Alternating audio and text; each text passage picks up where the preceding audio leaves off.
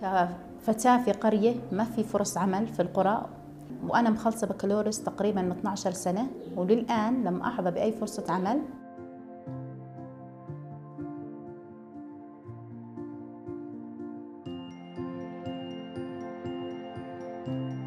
تم افتتاح الواحة تقريبا قبل شهر وأنا انضميت أنا ومجموعة نساء. في نساء اختاروا الخياطة في نساء اختاروا رياض الأطفال ومنهم نساء اللي أنا تبعت لهم اللي هي مشروع الصيانة العامة. إحنا اليوم تعلمنا كيف نقص البايبات بشكل دقيق مية في المية. فكان إشي عظيم جدا.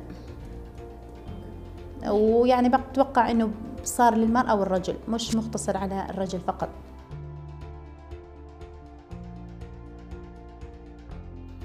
الواحة أمنت إلنا بدل مواصلات آه، بنيجي في كل سهولة وبدون أي تأخير. أنا مطمئنة على بنتي معي في الواحة هون هي بين أيدي متخصصة. آه كمان إنه هون في الواحة كونا صداقات كثيرة وكان في تعاون وتكافل بين السيدات المشتركات في هاي آه المشروع. فكان هذا المشروع آه فرصة إلي إنه أساعد عيلتي في الوضع الاقتصادي. حلمي إنه أنا والسيدات اللي معي نقوم في مشروع ريادي يدر علينا دخل مستدام وثابت وإنه نطور فكر المجتمع كإحنا في قرية آه، نشتغل في إشي غير تقليدي بالنسبة للمرأة كأمور الصيانة العامة.